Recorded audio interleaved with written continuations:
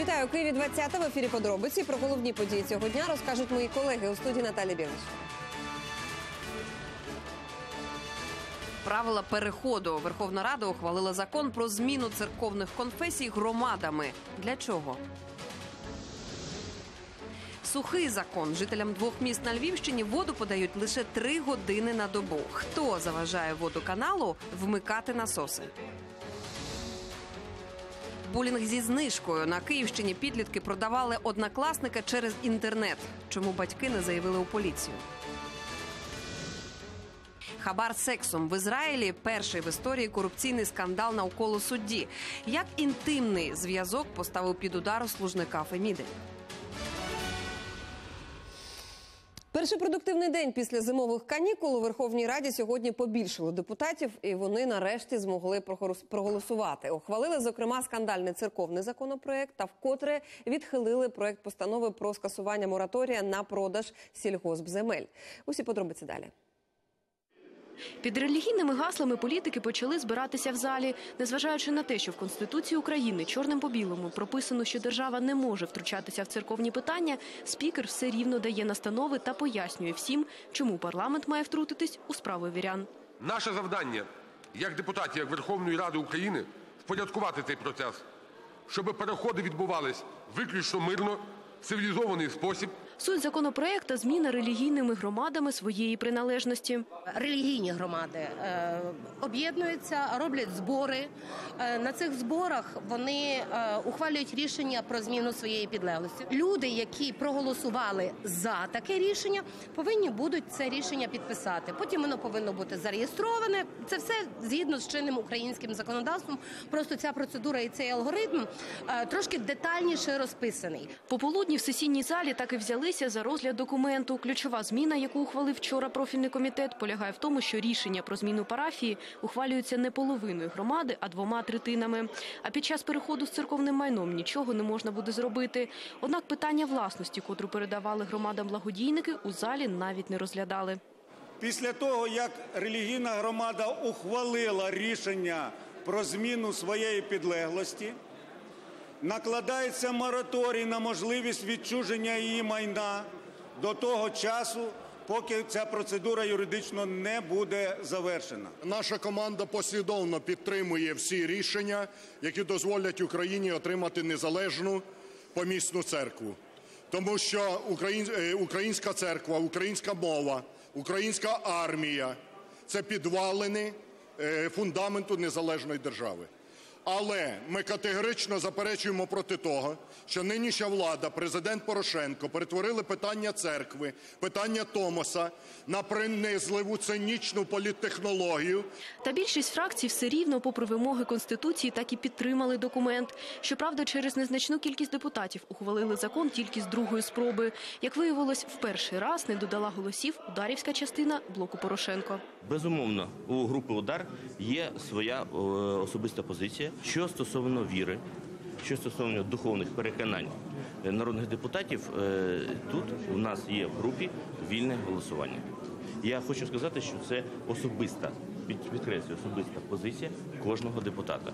Не дали своїх голосів і опозиційні політики. Там категорично заявляють, що держава і так вже занадто втрутилась у церковні справи.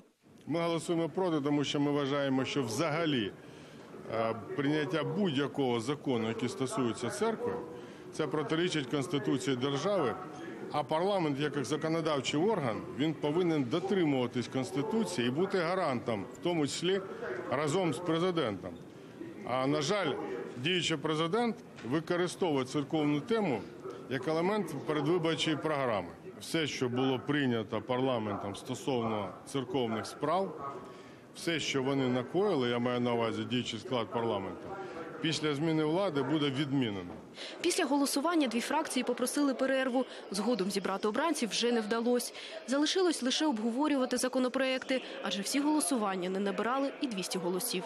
Лариса Зубенко, Катерина Лисенко, Володимир Самченко та Вадим Свірідонов. Подробиці телеканал Інтер. Окрім церковної тематики, говорили сьогодні в парламенті і про соціальні виплати. Для цього провели засідання спеціальної ради. Чого нардепи вимагали від уряду? Дізнаємося від Юлії Жешко. Жити чи доживати це питання обговорювали на засіданні соціальної ради в парламенті. Пенсіонери, ветерани та колишні військовослужбовці переконували депутатів, що їх обікрали. Нас обокрали в 2018 году, нам не выплатили полностью 6 тысяч ежемесячно, а это за год набегает уже 60 тысяч. И нам 18 тысяч не доплатят в этом году, 19 и только в 2020 году, если мы живы-здоровы, будем Йдеться про виплату пенсій та збереження пільг ветеранам і учасникам бойових дій. Та поговорити з незадоволеними людьми на цю тему погодились одиниці, лише опозиційні політики.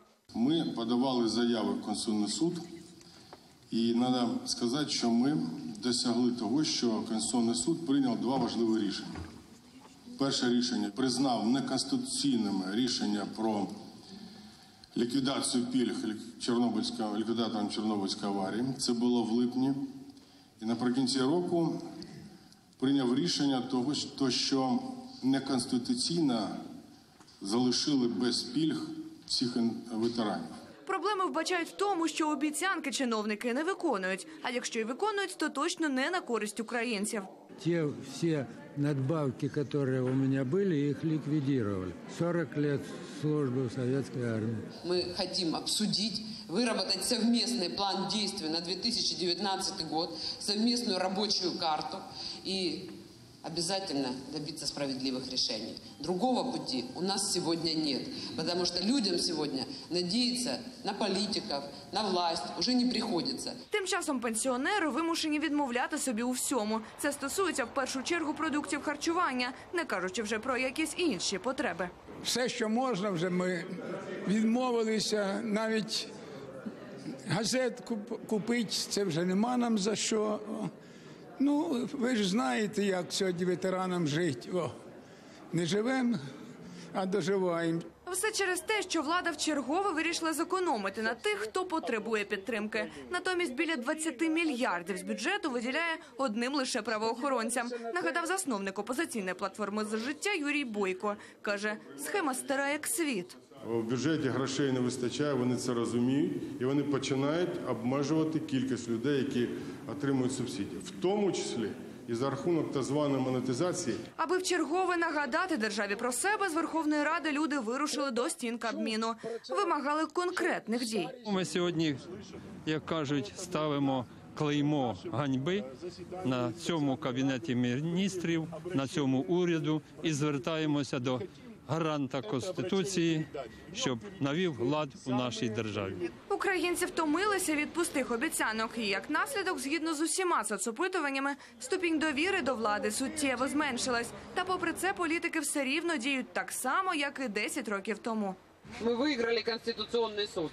Мы ждали решения Конституционного суда три года. Хватит бегать от ветеранов. Это люди, которые защитили нашу страну. Люди, которые сегодня, каждый день помогают друг другу выжить. У мене немає ілюзій, що це буде виконано при сьогоднішній владі. Але чому важливі ці рішення? Тому що якщо після зміни влади через півроку ми до цих питань повернемось, ми е, внесли і законодавчі документи, які в нас є, яка наша група внесла, і рішення судів, це є добра база для того, щоб практично сразу під- підняти питання і піти по шляху відновлення пільг. Якісно змінити життя в країні можна, запевняє Юрій Бойко. Аби це зробити, необхідно лише дотримуватись конституції і ухвалити низку соціальних законопроєктів, які давно припадають пилом у Верховній Раді. Парламентська більшість їх просто блокує. Юлія Жашко і Василь Міновщиков. Подробиці телеканал Інтер.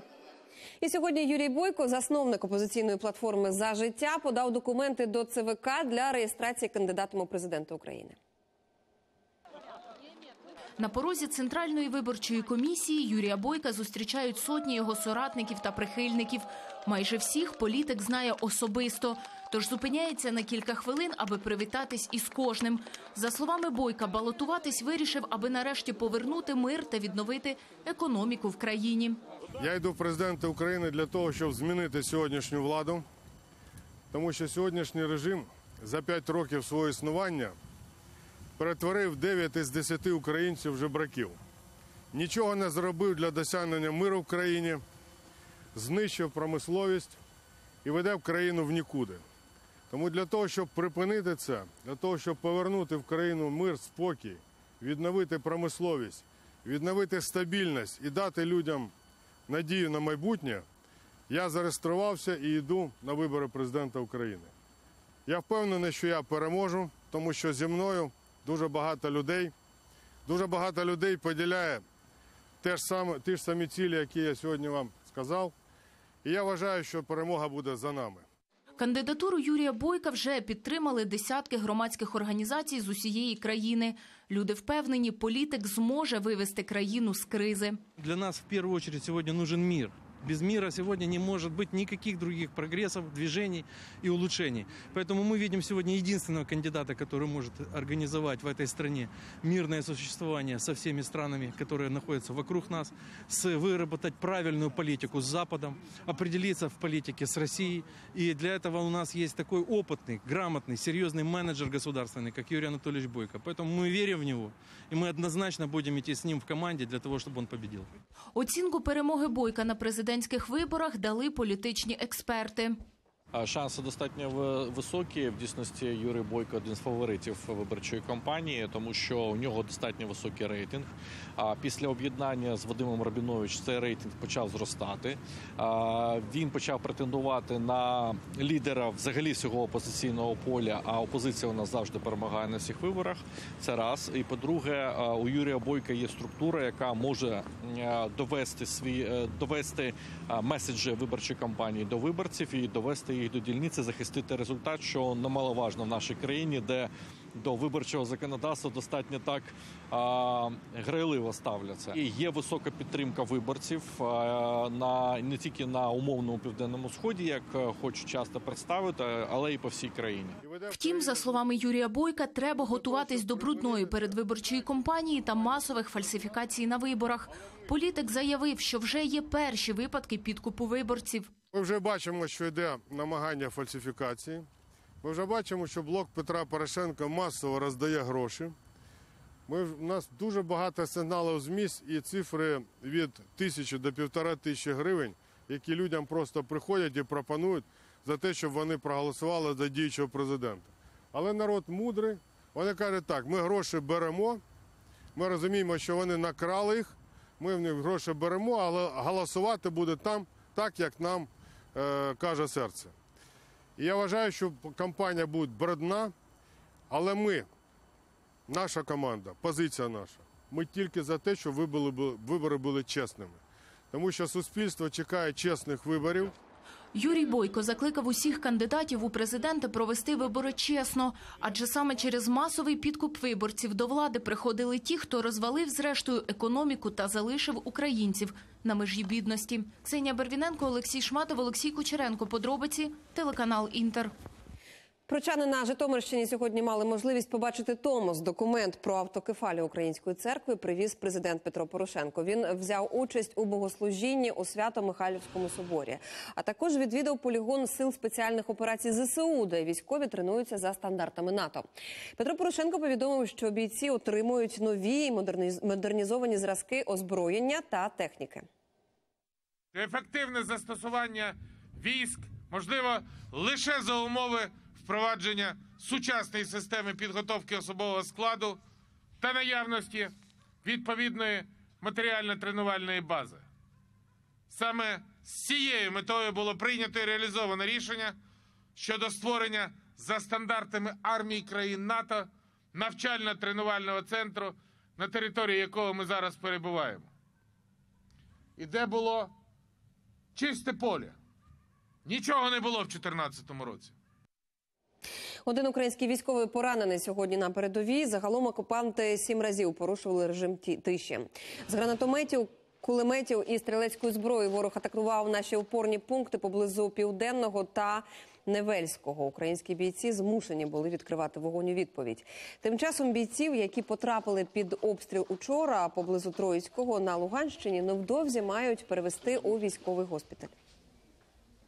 Я поспілкувався з хлопцями, е, перевірив, що е, вся необхідна медична допомога їм надана, і зараз їх буде евакуйовано на наступний етап е, в військовий госпіталь. На даний час їх життю нічого не загрожує. Це була не ДРГ, це був комплекс.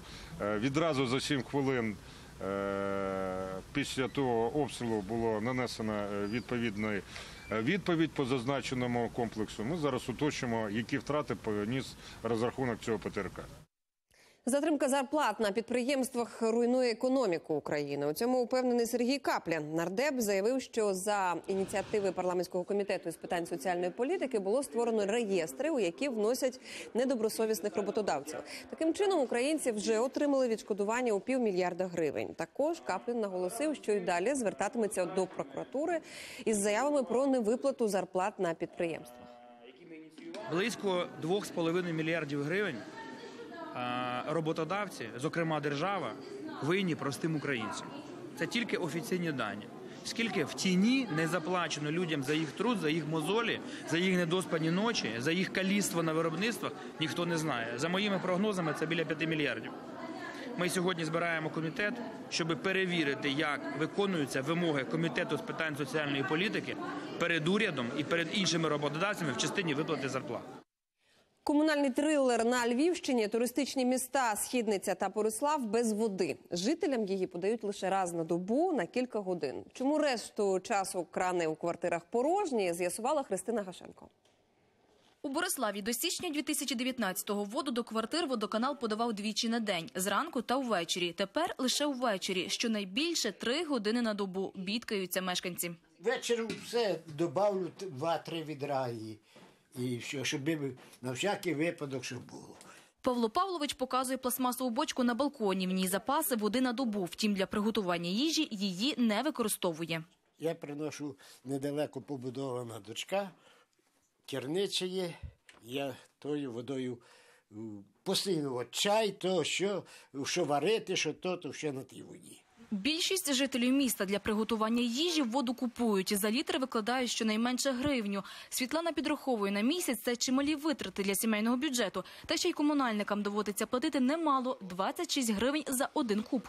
Тече з крана такі во болото, розкладені жаби повністю, от просто з крана витікають. То воду не дають круглосуточно, то як можна платити за ту воду такі гроші? Як ми беремо і окремо купляємо питну воду, щоб просто дітям зварити їсти. У місцевому водоканалі пояснюють, вмикають насоси для подачі води лише раз на добу через подорожчання електроенергії. Раніше систему вмикали вночі, оскільки дешевше. З 1 січня різницю у вартості електрики в день і вночі скасували. Е, В зв'язку з тим, що відмінили трьохзонний облік електричної енергії, нас поставили перед фактом, що чи ми будемо качати вночі, чи ми будемо качати, використовувати напівпіковий тариф, чи ми будемо використовувати піковий тариф. Вартість електричної енергії одинакова 2 гривні 86 копійок за 1 кіловат. Аби мешканці Борислава мали воду двічі на день із міського бюджету, потрібно виділити водоканалу майже мільйон гривень, щоби той зміг розрахуватися за енергоносії, або ж удвічі підняти тарифи на воду для населення. Наразі чиновники готові виділити лише 400 тисяч гривень. скажімо, десь адаптовуватися до сучасних умов роботи підприємства. Надіємося, що можливо внесуть також зміни в чинне законодавство. Відповідно, повернуть зонний облік. Це би було взагалі ну логічно і це би було правильно. Допоки міські чиновники сподіваються на законодавчі зміни, жителям Борислава та Східниці доводиться робити чималі запаси води. Христина Гашенко, Мар'яна Солодовченко, подробиці телеканал Інтер, Львівська область. Закарпаття замело. Негода охопила усі райони області. Кучугури подекуди вище за паркани. У деяких будівлях під вагою снігу обвалюються дахи. Мар'яна Мартин розкаже більше. Від самого ранку жителі села Загаття на вулиці. Всі з лопатами розчищають проходи до будинків. Інакше не пройти. Снігу намело до поясу. Подекуди кочугури сягають рівня парканів. Доріжку прокладає і охоронець місцевої школи. Я вже. Поважай мене, бо. І лопату, тачку. Сніг на Закарпатті йшов майже тиждень. На даху шкільної їдальні його було стільки, що покрівля не витримала. Страшний гуркіт розбудив охоронця.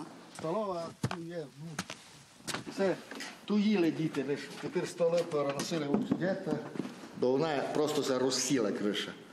Воно як не проломилося, лише русіле. Ну то ще видите, стара штукатурка, чи то цірок, це як клали, чи то очерет. Кілька років тому дах приміщення, де розташовані класи, відремонтували. А от до їдальні, що в окремій будівлі, руки не дійшли. Хоча споруда далеко не нова і вже більше 50 років без капремонту. Покрівля прогнила і просіла під вагою снігу. Чиновники обіцяють, роботи почнуть навесні. Обвалилась, получается, там э, шиферная, э, шиферная сама крыша, э, площадь где-то порядка 450, э, 450 квадратных метров. Будем с этой цифрой обращаться э, в обладминистрацию. Там есть специальный резервный фонд, где для таких случаев, э, как говорится, есть заложники, есть гроши. Після інциденту їдальня на замку, а школярі вимушені їсти прямо за партами. Тимчасово наші дітки харчуються тут. Вони приносять із собою бутерброди, тощо. Ми їм розставляємо парту і вони сідають і їдять. Смачного вам, дітки! Тут файно, ночі в компанії, але так ми там розділяємося. Я люблю, коли всі клас їсть.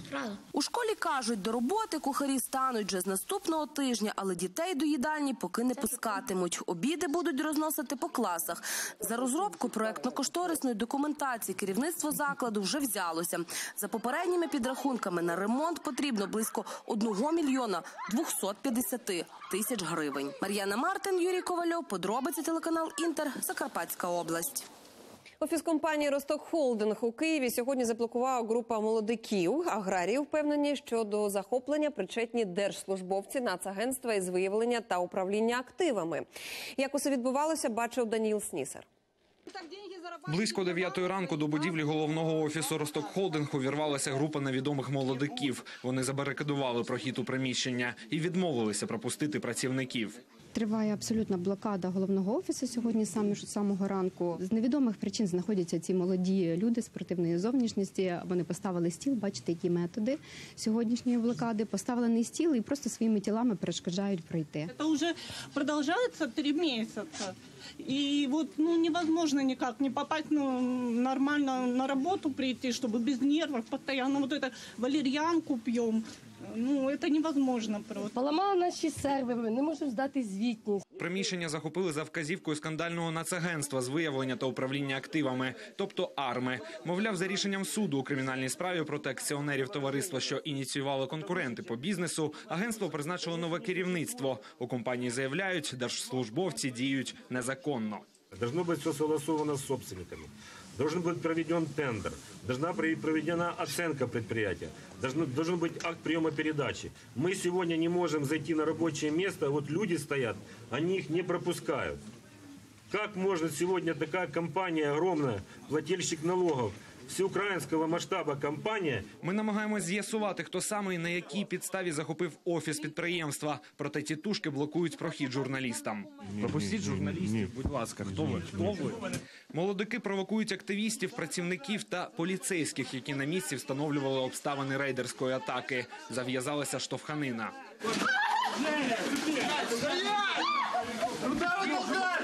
У протистоянні один із працівників отримав поранення руки. Його відразу доправили до лікарні. У цей час на підтримку копам прибули спецпризначенці. Вони затримали щонайменше дев'ятьох молодиків. Зрештою, прохід розблокували. Відразу рушаємо до представників замовників маски шоу дізнатися, на якій підставі вони тут перебувають. Не треба спекулювати інформацією. Не треба спекулювати інформацією. Я надаю правову допомогу безпосередньо. Я надаю правову допомогу. Ми на законних підставах знаходимося в даному приміщенні. Всі документи є. Звертайтеся з запитами, будь ласка. За роз'ясненнями до нацагентства ми вже зверталися. Наш запит від 2 січня там проігнорували. Коли ж ми приїхали до офісу установи, держслужбовці просто перед носом журналістів та правоохоронців закрили приміщення. У тому, що арма сприяє рейдерству, запевняють і правозахисники. Як вони в свою чергу представилися, це охоронна фірма, яку сюди делегувала арма. Керівництво арми, яке було представлене зараз на підприємстві, перешкоджало роботі журналістів, е, що також свідчило про їхнє небажання е, співпрацювати е, як з журналістами, так і допустити до робочих місць співробітників підприємства. Поліцейські, в свою чергу, дуже активно спрацювали, затримали всіх тітушок. Ми сьогодні звертаємося до правоохоронних органів навести порядок, навести лад. Тому що Росток це як тест на корупцію. Якщо складеться сьогодні Росток, то буде і Україна. Сьогодні, от, слава Богу, міліція повиводила цих озброєних тітушек. Нагадаємо, напередодні ситуацію, що склалася навколо рейдерського захоплення Росток Холдинг, зацікавилося Національне антикорупційне бюро України. 10 січня розпочато досудове розслідування протиправних дій службових осіб Нацполіції, прокуратури і судів в Харківській області, а також службових осіб Національного агентства АРМА. Даніл Снісер, Валентин Біліч, подробиці, телеканал Інтер. Тонкощі булінгу в одній зі шкіл у Київській області учні намагалися продати однолітка. Що це цькування чи безглузда витівка, з'ясувала Галина Якушко. Продаю валіка. Собака звичайна соромиться. Таке повідомлення з'явилось на одному з сайтів із продажу товарів. У розділі собаки у місті Буча продавали хлопчика. Обличчя той закрив руками. Чули про директор?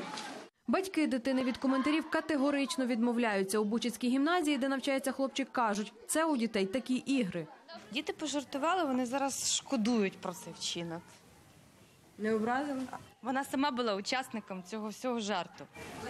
Тобто ви це підтримуєте, так? Ви підтримуєте це чи ні?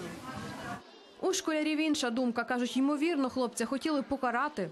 Напевно, здівалися на однокласника.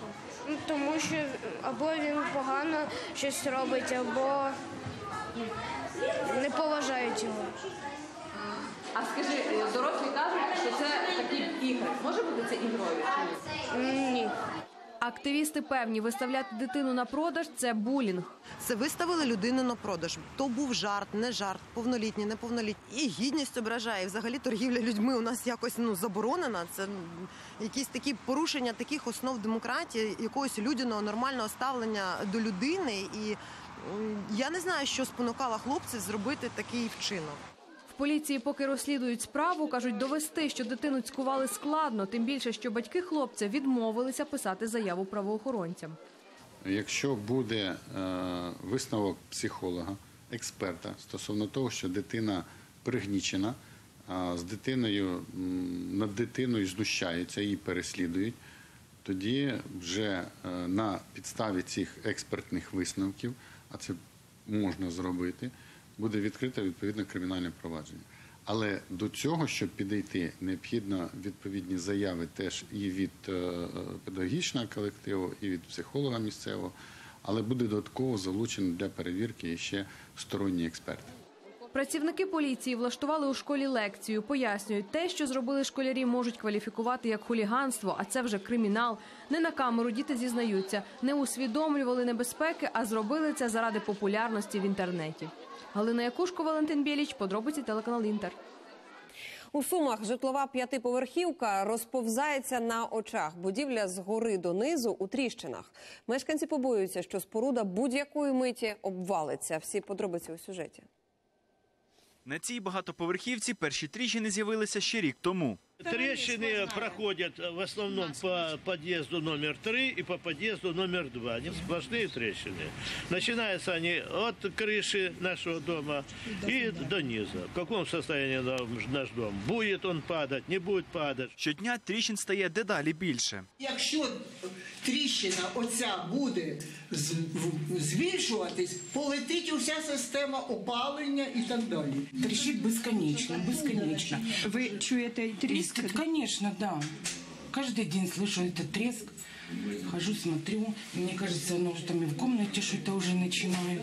Місцями дірки в стінах у ширину долоні. Крізь деякі квартири можна навіть вулицю побачити. Вот вы увидите, насколько одна стена отъехала от другой, и точно так же по низу просто оно так не совсем доломалось открыто. И вот с кухни вот плитка падает, отклеивается. Люди звернулися по допомогу до чиновників. Комісія з управління інфраструктури з'ясувала, будинок руйнується через стічні води, які йдуть прямісінько до підвалу та підмивають фундамент. Багатоповерхівку визнали аварійною і вже розробили проект капітального ремонту. Вартість робіт по будинку для влаштування всіх недоліків і е, е, усунення всіх недоліків і приведення до нормального стану сягає 4 мільйони 317 тисяч гривень. Сюди входить і опалубку, і підсилення фундаментного покриття, і це підсилення стін, де тріщини з'явилися, це утеплення всього будинку. Чиновники обіцяють внести будинок до плану ремонтів першої черги. Проте, чи знайдуть усю необхідну суму, невідомо. Адже загалом на рік на всі ремонти житлового фонду в бюджеті є трохи більше ніж 16 мільйонів. Тож обіцяють зробити найнеобхідніше, щоб будинок не розвалився остаточно. Артем Антоненко, В'ячеслав Нікіфоров, подробиці телеканал Інтер, Суми. Секс і корупція в Ізраїлі вибухнув скандал навколо першого хабаря в історії судової системи цієї країни. За що платили і до чого тут інтим? Про це після реклами. Дочекайтеся. Від початку року в Україні від ускладнень грипу вже померло восьмеро людей. У Запоріжжі медики не змогли врятувати півтора місячне немовля. Це сталося ще напередодні нового року, але причини смерті назвали тільки зараз. Це був грип штаму А2 у Запорізькій області. Це перша смерть від такої недуги. Захворюваність на ГРВІ там нижче під порогу майже на 40%. Школи та дитячі садки працюють у штатному режимі. Про карантин у закладах наразі не йдеться. Сейчас циркулирует в основном именно грипп А, а этот грипп вызывает и м, бы- высокое быстрое распространение инфекции и вспышки. То есть мы ожидаем рост заболеваемости и не исключаем, что к концу января, начале февраля мы дойдем до порогового уровня, а можем его и превысить. А у Львові жінка померла від ускладнень після кору. Хвороба почалася традиційно з високої температури. На наступний день з'явилася висипка, але до лікарні хвору привезли лише на третій день. Пацієнтка була у важкому стані. Її одразу відправили у реанімацію.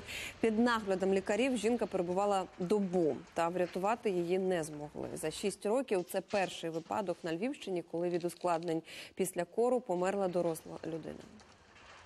Кір дав ускладнення пневмонію, запалення легень. В неї була виражена енцефалопатія, тобто порушення свідомості, збудженість. Вона одразу поступила в реанімацію, проводилася інтенсивна терапія, але, на жаль, на другий день вона померла від гострої серцевої недостатності. У Бельгії за підготовку теракту ув'язнили сирійського біженця. Це не перший випадок, коли мігрантів засуджують або ж позбавляють права на перебування в Україні через тероризм. Олена Абрамович розкаже більше. Сирійський біженець Ахмед випробовував саморобну бомбу в себе на подвір'ї у бельгійському містечку на кордоні з Францією. Так і потрапив під увагу поліції. Затримали його торік у лютому, після того як слідчі отримали додаткові докази про підготовку теракту від американських спецслужб. Місяці судової тяганини і Ахмеда посадили за грати на 5 років. Це максимальне покарання. Новини про спійманих терористів у Бельгії з'являються чи не щомісяця. Так минулого тижня поліція заарештувала чоловіка із судимістю за тероризм, який викрав із прокуратури жорсткий диск із матеріалами про розтин жертв брюссельських терактів 2016 року. Підозрюваний 91-го року народження був арештований за крадіжку 5 січня 2019 року. Усі звинувачення він відкидає. Слідчі поки що не повернули викрадені речі. Затримали минулого тижня в Брюсселі підозрюваного в постачанні зброї для паризьких терактів, скоєних у листопаді 2015-го. Франція та Бельгія інтенсивно співпрацюють в антитерористичній боротьбі. Часто радикалізація злочинців відбувається у в'язницях, тож країни розробляють спільні методи звітування про радикалізованих випущених на волю. Наші дві країни повинні працювати негайно і злагоджено над моніторингом засуджених за тероризм, пов'язаний з радикальним ісламом, а також щодо інших затриманих, які очевидно були засуджені до процесу радикалізації. Саме у в'язниці планував скоїти теракт і винуватець грудневої стрілянини на різдвяному ярмарку в Страсбурзі. За даними слідства, які потрапили до французьких змі, страсбурзький терорист ділився такими планами із сусідами по камері. Олена Брамович, Євгеній Камінський. Подробиці. Європейське бюро телеканалу Інтер. Грандіозний скандал у судовій системі Ізраїлю. Якою посадою чиновник розрахувався за секс із жінкою? Подробиці цього безпрецедентного для країни випадку знає Антон Готліб. Здавалося б, ну що тут такого? Хіба мало було в Ізраїлі сексуальних скандалів? Навіть президент відсидів за зґвалтування. Але тут йдеться про суддів, юридична еліта, про чесність якої ходять легенди. В Ізраїлі досі не було жодного випадку, аби суддя попався на хабарі. Судья, который у меня принимал экзамены 20 лет назад, всего лишь попросил в секретариате побыстрее выслушать дело работницы его сына. Он больше не судья. С грохотом он слетел со своего места за просьбу секретарши продвинуть дело, не повлиять на результаты, а просто сделать побыстрее. Відомо вкрай мало подробиць. Якась жінка-юрист переспала з людиною відповідальною за призначення, а за це отримала посаду мирового судді. Але юридичну громадськість обурив не сам факт цього сексуального хабара, а те, як система відреагувала на помилку, а саме категоричну судову заборону на будь-які подробиці цієї справи. Это огромное упущение для судебной системы. Это дискредитирует судебную систему, потому что никто ничего не знает, есть слухи, и у всех одно ощущение, что система очень сильно напортачила и сейчас защищает саму себя. Обох фігурантів справи допитує поліція. Випадок цей може мати для всієї судової системи вкрай серйозні наслідки. Можливо, доведеться переглядати механізм призначення суддів. Досвідчені юристи кажуть, якщо факт хабаря сексом доведуть, високопоставлений чиновник сяде до в'язниці. Антон Готліб, Сергій Ослендер, подробиці, близькосхідне бюро телеканалу Інтер. Під Ков- ковпаком німецькі спецслужби відтепер наглядатимуть за правими популістами. Об'єктом спостереження стала партія Альтернатива для Німеччини та два її крила. Детальніше Тетяна Логунова. Альтернатива для Німеччини у полі зору німецьких спецслужб. Федеральне відомство з охорони конституції бере під контроль одну з найбільших опозиційних партій країни, яка представлена в Бундестазі і всіх земельних парламентах Німеччини, щоб перевірити, чи не порушують праві популісти конституцію країни. Про намір детально вивчити і оцінити діяльність політичної сили шеф німецької контррозвідки повідомив особисто. Томас Хальденванг заявив, слідкуватимуть за партією та її осередками. З альтернативою для Німеччини ми поки що будемо уважно спостерігати щодо діяльності її осередків молодої альтернативи і руху крило. В нас вже є певні підозри. Молоду альтернативу і рух крило підозрюють у правому екстремізмі, ксенофобії, розпалюванні ворожнечі. Спецслужби зібрали матеріали, фрагменти виступів правих популістів на мітингах і демонстраціях. Наприклад, ось такі. Це наша нація, наша держава, наша країна, і ми будемо відвоювати її шматок за шматком. Відтепер спецслужби мають право прослуховувати активістів політичних рухів, а також засилати в ряди цих організацій агентів під прикриттям. Лідери альтернативи для Німеччини у відповідь вже погрожують судами. Рішення про нагляд за партією ми вважаємо неприйнятним і будемо вживати всіх необхідних юридичних заходів. А поки що, як повідомляють змі, керівництво партії порадило своїм членам не давати інтерв'ю на слизькі для партії теми, аби раптом не сказати зайвого. Тетяна Логунович, Слав Фролов, подробиці німецьке бюро телеканалу Інтер. Сотні вчителів та учнів вийшли протестувати до парламенту в Афінах. Усередині депутати саме дебатували про новий законопроект, який змінює правила найму освітніх працівників. Документ акцентує увагу на їхній кваліфікації, а не на досвіді. Протестувальники вважають, що це несправедливо, адже більшість учителів, які пропрацювали у школі десятки років, не мають можливості оплатити собі додаткове навчання. Без сутичок не минулося. Демонстранти намагалися прорватися до парламенту, а поліцейські застосували сльозогінний газ. Цей законопроект так і залишиться на папері. Він знецінює нашу освіту і перекреслює роки досвіду. Ми заробляли його багатьма зусиллями та жертвами, а тепер його на сміття. Законопроект не тільки залишає безліч учителів без визнання, через нього багато інших утратять роботу. Він несправедливий щодо кваліфікації, адже той, хто має гроші, може здобути після дипломну освіту, а той, хто не має, не буде визнаний. У Китаї жінка стала моделлю, коли їй було вже далеко за 50. Це виняток із правил чи у піднебесній новий тренд, розкаже Катерина Кравець. Коротка стильна стрижка, яскраве вбрання. 56-річна Ма Юн Хьон упевнено дефілює на подіумі в Шанхаї. Свою кар'єру манекенниці жінка розпочала два роки тому. Відтоді її для своїх показів з руками відривають ведучі фешн-бренди, серед яких відомі Дольче Енкабана. Я не вважаю, що через свій вік надто відрізняюся від решти манекенниць. Я завжди доглядала за собою, і в мене постійно були власні вимоги щодо краси. Я і зараз не дозволю собі одягнутися як бабуся або тітонька Матрона. Жінка каже, мріяла про моду ще в юності, навіть літала до Японії, щоб вивчитися на дизайнерку. Але тоді на це не вистачило грошей. Тепер тішиться, що хоч уже й на пенсії, але таки вдалося вскочити в індустрію моди. Люди нашого віку, пенсіонери, зазвичай сидять удома. Чи не так? Як на мене, це нудно. Вам немає чого робити. Ви цілими днями думаєте, на що витратити стільки вільного часу. Ви ж не збираєтеся днями лише прибирати і готувати на кухні. Мені б це було не цікаво. Завдяки своїй новій роботі та активності у зрілому віці вона стала прикладом для друзів. Ми з подругами щасливі, що їй це вдалося. Вона працює у фешн-індустрії. Через це ми багато дізнаємося про моду саме від неї. Те, як вона одягається, нас усіх надихає. Поки що Ма Єн Хьон – одна з перших ластівок на китайському подіумі. Однак в індустрії моди певні, надалі попит на літніх манекенниць лише зростатиме. У такий спосіб хочуть охопити величезний ринок старших китайців. Таких у Піднебесній невдовзі буде майже півмільярда. За словами експертів, вони вже виростили своїх дітей і волітимуть витрачати більше грошей на себе, зокрема й на свій зовнішній вигляд. Оксана Гашева, Катерина Кравець, подробиці телеканал Інтер. Чому каїрці не виходять на вулицю без захисних масок? Як у зоопарку Сідне борються з аномальною спекою? Та чи може пиво врятувати життя? Про це та інше в нашому огляді.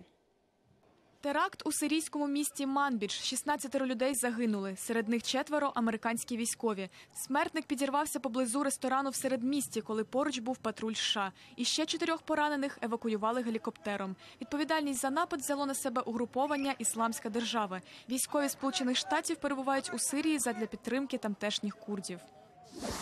Четверо людей загинули, ще п'ятеро травмовані внаслідок вибуху у багатоповерхівці у Тбілісі. Серед жертв є діти. За попередніми даними, на одному з поверхів житлового комплексу стався вибух газу.